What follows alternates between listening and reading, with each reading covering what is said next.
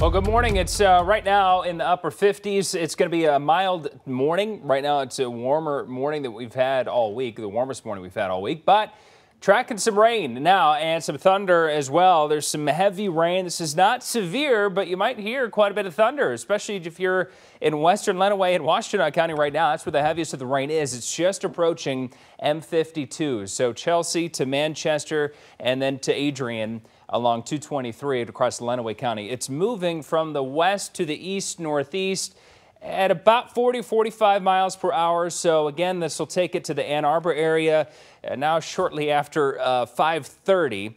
So in the next, I'd say 15 minutes or so, Ypsilanti not until closer to 545 or 550, and the Canton area closer to uh, about 6 p.m. So also just to put a path on this, this is just rough estimate to when it could reach, let's say, downtown Detroit. Maybe not until about 6.30 or so. And then you get up toward uh, Mount Clemens. After that, 6.45 to 7 p.m. But in Monroe, you're talking by about 6 a.m. So it's on the way.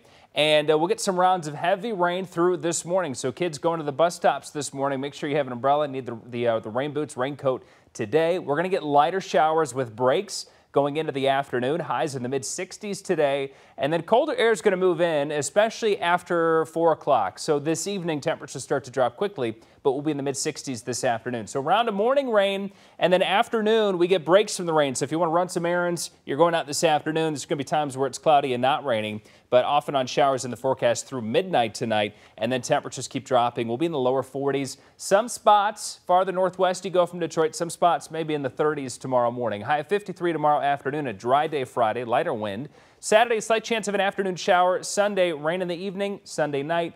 And then Monday, a good chance of rain, especially in the morning. Allie.